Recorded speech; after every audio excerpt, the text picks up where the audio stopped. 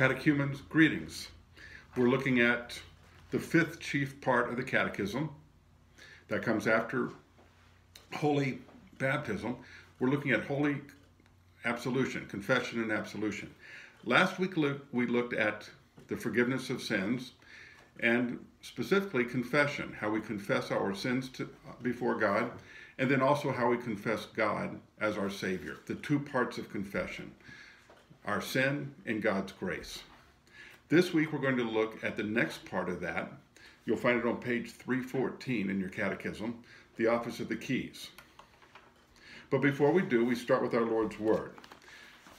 It's there that we see how He has instituted absolution and also how He has instituted the office of holy ministry. So in this, we will also be looking at the office of pastor, and you can think about what, what is a pastor, what does it mean to be a pastor. So in John chapter 20, verse 21, this is after Jesus has been crucified. He's been resurrected from the dead, and this is where his apostles are hiding in the locked room. And Jesus comes into the room with them. And verse 21 Jesus said to them, Peace be with you. As the Father has sent me, even so I am sending you. And when he had said this, he breathed on them and said to them, Receive the Holy Spirit. If you forgive the sins of anyone, they are forgiven. If you withhold forgiveness from anyone, it is withheld. So there we see what is called the office of the keys. We see the institution of the office of holy ministry, where Jesus says, As the Father sent me, so I am sending you. And then, of course, later the apostles go and lay their hands on other men to put them into the office of holy ministry, the office of pastor. So, with that, now let's look at a couple things in the catechism first. This is what is in the box on page 314, where it says, What is the office of the keys? The office of the keys is that special authority which, which Christ has given his church on earth to forgive the sins of repentant sinners, but to withhold forgiveness from the unrepentant as long as they do not repent where is this written? And then it quotes John 20, where, what we just read in the, in the Bible. And then it says, What do you believe according to these words? I believe that when called ministers of Christ deal with us by his divine command, in particular when they exclude openly unrepentant sinners from the Christian congregation and absolve those who repent of their sins and want to do better, this is just as valid and certain, even in heaven, as if Christ our Lord dealt with us himself. So we have this, it's called, the, called ministers of Christ. They, they will be called maybe nowadays ministers, sometimes priests, sometimes fathers, sometimes pastors. It depends on which tradition. Luther himself was called a pastor. He was also called a father. Um, so with, with, that, we get to see that it says that the person, the man is called, put into this office to forgive sins.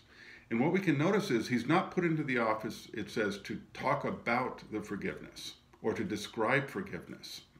There is that, that's done in a sermon, for instance, but it says to forgive sins. That's what Christ says to his apostles whosoever sins you forgive. So Jesus, through the mouth of these apostles, is delivering the actual forgiveness that Jesus speaks from his own mouth. He's using these men as his instruments. So, this is the office of holy ministry, where a man is put into an office not by his own worthiness, not by his own authority. This is not an office instituted or created or designed by the church. It is instituted by Christ, in the same way that baptism is instituted by Christ. Holy Communion is instituted by Christ. These are not rituals or traditions in the church. These are things handed over to us from our Lord Jesus for the forgiveness of sins. So, now to talk about this office of holy ministry. What do we understand? What do you understand when you think of a pastor? And we might be tempted to think, well, a pastor is a leader of the church, or he's a coach. He's, he's got a team and he's the coach of the team. And maybe there's nothing wrong in our world with being a coach or a leader. Actually, there's not. Don't you want a good coach? If you're playing football or baseball, or if you have a favorite team, you want someone who can coach that team and teach them how to win. Is that a pastor? Those words, coach, leader, are nowhere used in Scripture for the pastor. In Scripture, the words used for a pastor, the most predominant word is servant. Also, under shepherd. That's the word that comes in as pastor. Maybe you can see that in the word a little bit. The word pastor comes from the Latin. It has the same root as the word for pasture, where you pasture sheep. You put them out to eat grass. And so a pastor is one who is pasturing sheep. In the church, he's an under shepherd of the good shepherd Christ. But that means he's a servant. He's serving the Lord's beloved sheep with the Lord's good food and water. In the case of the church, that's his word of forgiveness, that's his sacraments. So you have a pastor who is to be known as nothing other than a servant. There's one verse in Scripture where a pastor is called an officer, and sometimes that's mistranslated as leader. But an officer is not a leader, an officer is serving in the office of someone else, like a police officer. He's a servant serving in the office to protect the community, but he's serving in an office set up by the mayor or the governor or however it is we want to describe that. So that's the first thing we want to see. A pastor is a servant, a servant of Christ Jesus, a servant to the sheep who belong to Jesus. Then in our current world, our current culture, we can ask, why did Jesus set pastors to be men? He called the 12 men to be apostles when Judas left. He replaced Judas with Matthias, another man. And then he also added in Paul, the apostle to the Gentiles, another man. Why men?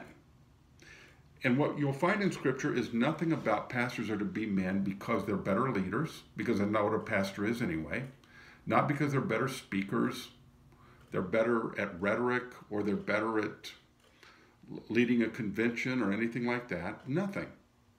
Well, then why did Jesus set men to be pastors? It would have been possible for him to also have women because that was very common in that world. All of the pagan altars, the Greeks and the Romans, they all had priests and priestesses. They knew that. But Jesus set men to be pastors. Why? Now, let me read you a verse about Jesus. This is from the book of Ephesians,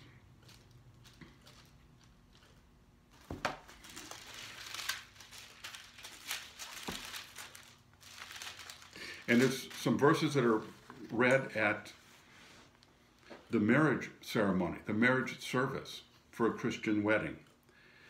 And it says, Husbands, love your wives as Christ loved the church and gave himself up for her, that he might sanctify her, having cleansed her by the washing of water with the word, so that he might present the church to himself in splendor, without spot or wrinkle or any such thing, that she might be holy and without blemish.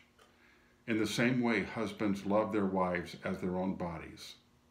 He who loves his wife loves himself. So there we have the Apostle Paul talking about the church as being the bride of Christ, and Christ is the groom. He's the groom who cleanses the church with the washing of water in the Word. That's baptism.